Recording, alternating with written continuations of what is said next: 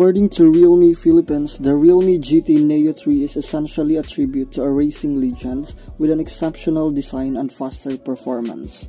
It has a Dimensity 8105 chip processor with an 80 watt super dart charge that can fully charge your device within 24 minutes. It has a dedicated display processor for better frame rates for better gameplay. It has a racing stripe design, a tribute to the racing legend. It has a Sony IMX766 sensor with OIS 50 megapixel flagship primary camera.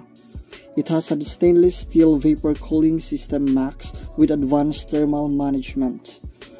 It has also the GT Mode 3.0 smooth and fasting gaming performance with 120Hz OLED reality display with fast and brilliant display.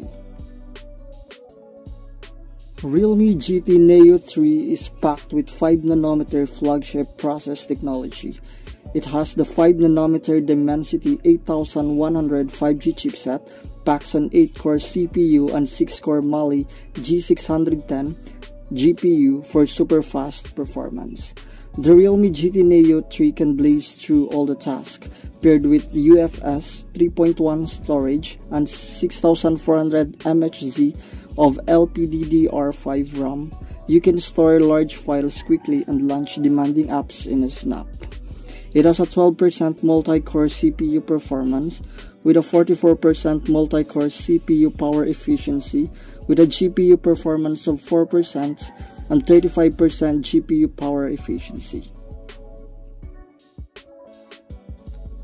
The new stainless steel vapor cooling system max features over 7% larger cooling area than the Realme GT 2 Pro and reduces the temperature of core areas by up to 19 degrees Celsius.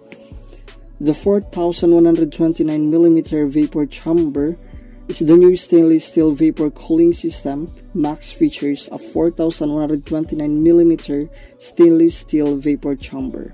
It is a 26% larger than its predecessors, which allows the Realme GT Neo 3 to deliver amazing performance while keeping the overall phone at an optimal temperature level.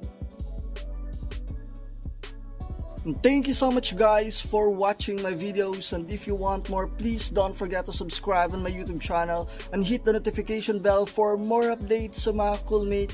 See you in my next video.